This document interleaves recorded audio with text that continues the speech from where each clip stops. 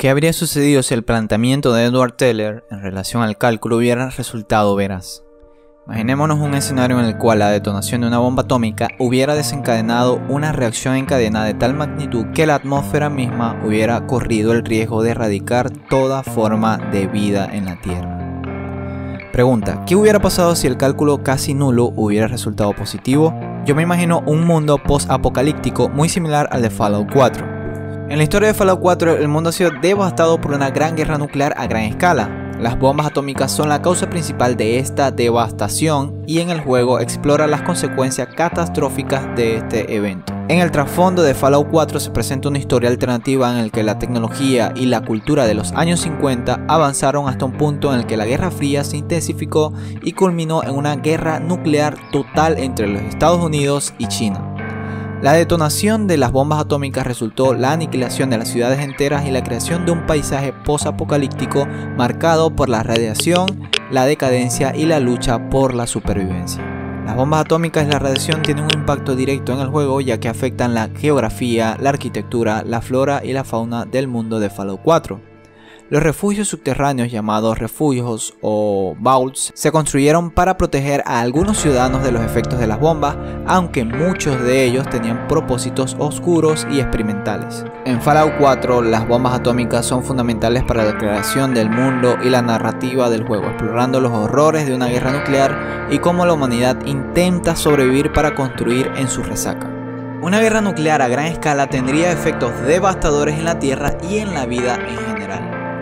Algunas de las consecuencias que podrían surgir en un escenario post-apocalíptico de guerra nuclear serían destrucción masiva de ciudades y estructuras. La detonación nuclear destruiría ciudades, infraestructuras y edificios a gran escala dejando vastas áreas inhabitables y en ruinas. Pérdida de vidas humanas. Millones de personas perderían la vida en las explosiones iniciales y en las secuelas, ya sea por radiación, el fuego, el colapso de estructuras o por falta de recursos. La radiación ionizante liberada por las explosiones nucleares contamina vastas áreas. Los niveles peligrosos de radiación podrían persistir durante años o incluso décadas, causando enfermedades graves y muertes a largo plazo. La liberación de partículas y hollín en la atmósfera podría bloquear la luz solar y enfriar el clima global, esto resultaría una disminución de las temperaturas, lo que afectaría la agricultura y los ecosistemas. La contaminación de destrucción de cultivos, la perturbación de las cadenas de los suministros alimentarios y el clima frío y derivado del invierno nuclear podría llevar una grave escasez de alimentos y hambruna.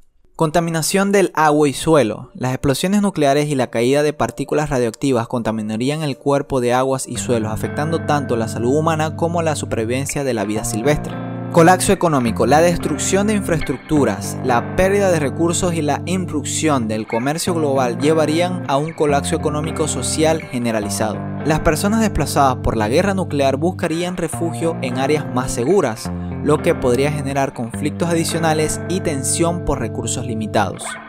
Desaparición de ecosistemas. Muchos ecosistemas y especies enfrentarían una extinción masiva debido a la contaminación de radiación. Impacto en la salud mental. La guerra nuclear tendría un profundo impacto en la salud mental de las personas que sobreviven, debido a las pérdidas de seres queridos, el trauma y las condiciones de vida extremadamente difíciles. Desarrollo de enfermedades. La contaminación de radiación, falta de higiene y recursos limitados podría llevar a la propagación de enfermedades infecciosas. Escasez de recursos básicos. La guerra nuclear impediría la producción y distribución de electricidad, agua potable y medicamentos y otros recursos esenciales. Una guerra nuclear tendría consecuencias devastadoras para la Tierra y la vida en ella, sería un evento catastrófico con impactos a largo plazo en la civilización humana y en los ecosistemas del planeta. Es importante recordar que la prevención de una guerra nuclear y el fomento de la paz son esenciales para evitar este tipo de escenarios post-apocalípticos.